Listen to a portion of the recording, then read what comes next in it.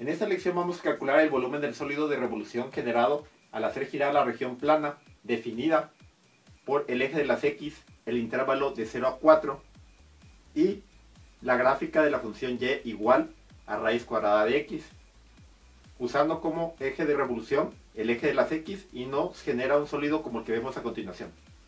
El sólido de revolución generado tiene una forma similar a una punta de bala, como se aprecia en la imagen de aquí abajo.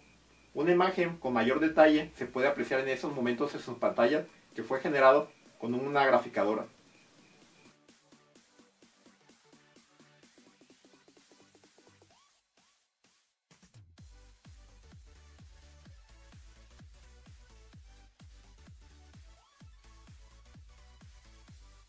En una clase anterior se había explicado el método para calcular el volumen de un sólido de revolución dado por esta fórmula que vemos aquí, donde el radio está definido por la función y el intervalo AB, en este caso será de 0 a 4, que es la región en la cual estamos analizando. Ya sustituyendo los datos en esta fórmula obtenemos lo siguiente. El volumen del sólido de revolución será igual a pi, que multiplica a la integral definida en el intervalo de 0 a 4, donde el radio está definido por la función y igual a raíz cuadrada de x. Esto elevado al cuadrado por dx. Haciendo las operaciones necesarias obtenemos lo siguiente.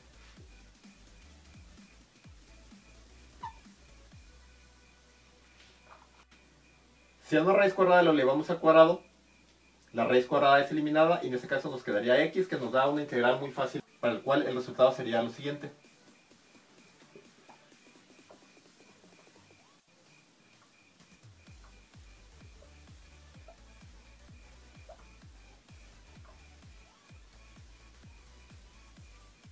Aquí vemos que el 2 es una constante la cual puede sacarse de los corchetes y dividir a pi y evaluar x cuadrada en el intervalo de 0 a 4 y nos quedaría como sigue.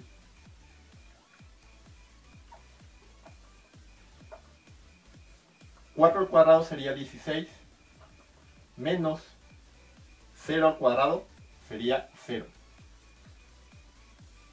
...el resultado sería... ...8... ...pi... ...unidades cúbicas... ...y ese sería el volumen... ...de nuestro sólido de revolución analizado.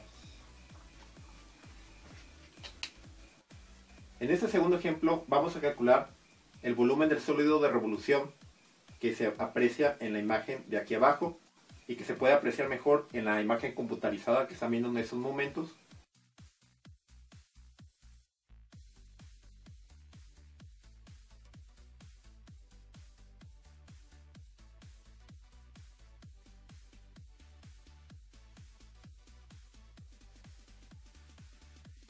El cual fue creado al hacer girar el área sombreada que vemos aquí arriba que pertenece a la gráfica de y igual a x cuadrada usando como eje de revolución el eje de las x en el intervalo de 1 a 2. Ocupamos nuevamente la fórmula por el método de los discos cuando el eje de revolución es el eje de las x, pues obtenemos lo siguiente. El volumen de ese sólido de revolución es igual a pi en el intervalo de 1 a 2. La que nos define el radio es la función y igual a x cuadrada, que a su vez está elevado al cuadrado. Desarrollando, obtenemos que x cuadrada al cuadrado sería x a la cuarta.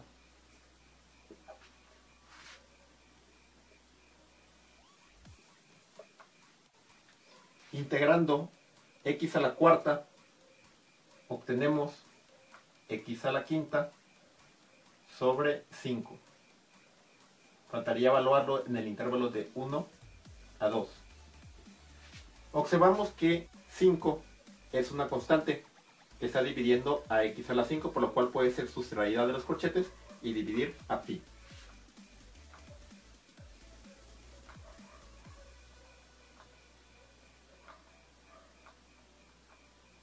Únicamente lo que falta es evaluar x a la quinta en el intervalo de 1 a 2.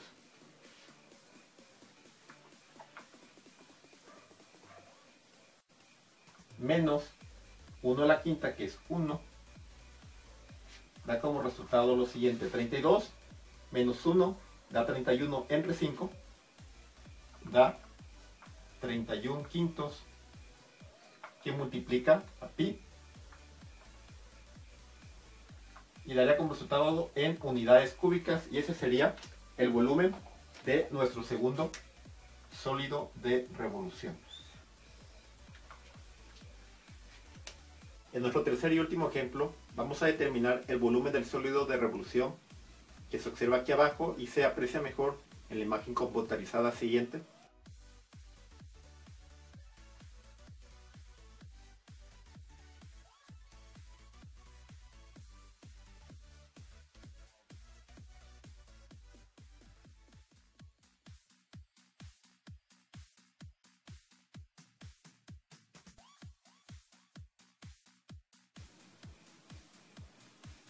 Este sólido de revolución fue creado al hacer girar la región sombreada que se aprecia en esta parte, que está acotada entre el eje de la Y, la gráfica de X igual a 2 sobre Y, y en el intervalo de 1 a 4. Nuestro eje de revolución será el eje de la Y y la función depende entonces de Y. La fórmula que veníamos ocupando en los ejemplos anteriores sufre una pequeña modificación porque ahora el eje de revolución será el eje de la Y, el cual el radio de los discos vendrá determinado por la función x igual a 2 sobre y, y el intervalo CAD corresponde al intervalo que se encuentra sobre el eje Y. Entonces, sustituyendo los datos obtenemos lo siguiente. Para calcular su volumen, pi multiplica a la integral definida de 1 a 4, donde el radio está determinado por, está determinado por la función 2 sobre y elevada al cuadrado, integrando con respecto de y.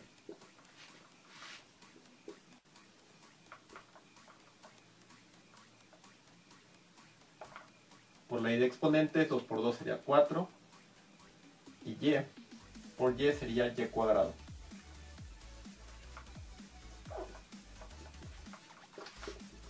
4 es una constante, la cual la podemos sacar de la integral y multiplicarla por el pi que se encuentra a la izquierda del símbolo de integración. Entonces nos queda 4pi que multiplica a la integral definida en el intervalo de 1 a 4 de 1 sobre y cuadrado.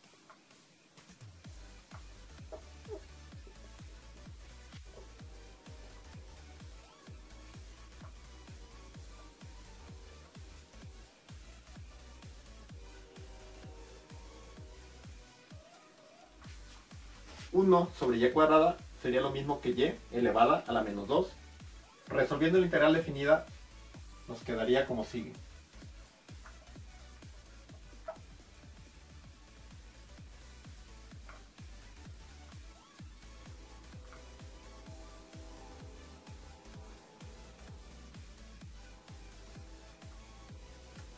Entonces faltaría evaluarlo de 1 a 4.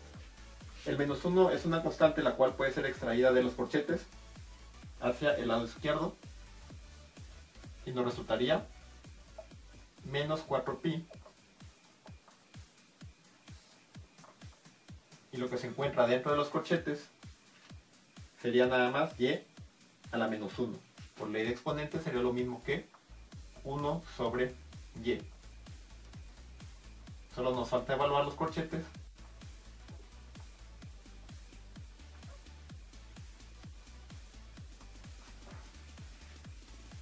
Sería entonces un cuarto menos 1.